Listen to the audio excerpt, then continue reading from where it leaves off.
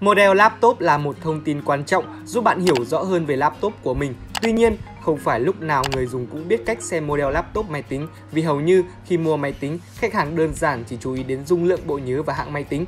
Để giúp các bạn có thể xác định được một cách dễ dàng và nhanh nhất về số liệu về cấu hình laptop của mình, Học viện IT.vn gợi ý cho bạn một số cách sau đây.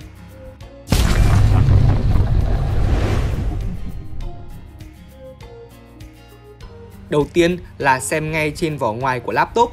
Đối với các hãng laptop, họ đều cung cấp cho khách hàng thông tin của sản phẩm thông qua các nhãn dán ngay trên góc màn hình hoặc ở dưới đáy của máy. Do vậy, nếu các nhãn dán đó không quá mờ hoặc bị rách thì bạn hoàn toàn có thể xem được model mainboard, số hiệu, máy nhà sản xuất ở dưới đó.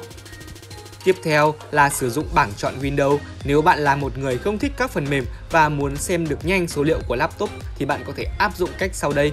Chỉ với vài thao tác cực kỳ đơn giản, bạn có thể biết được thông tin về model mainboard của chiếc laptop của mình.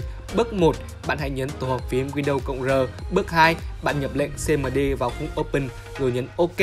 Bước 3, sau khi cửa sổ CMD được mở, bạn hãy nhập lệnh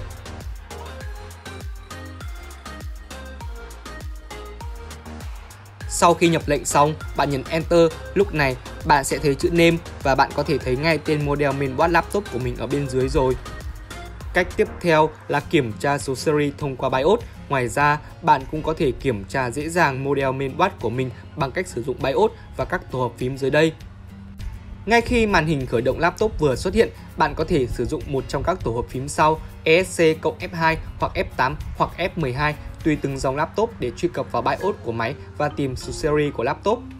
Phần mềm CPU-Z Phần mềm CPU-Z là một trong những phần mềm miễn phí cho phép bạn xem các thông số kỹ thuật, dung lượng, tốc độ của từng linh kiện sẽ được hiển thị đầy đủ nhất và nhanh nhất.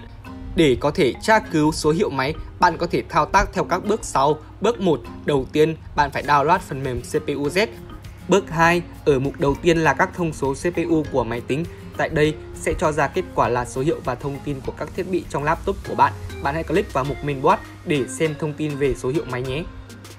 Phần mềm Everest Phần mềm Everest bản Portable cũng là một sự lựa chọn nếu bạn muốn tìm thông tin mainboard bằng phần mềm. Khi khởi động phần mềm, nó sẽ tự thu thập tất cả các thông tin về laptop và bạn có thể xem số series laptop như hình bên dưới.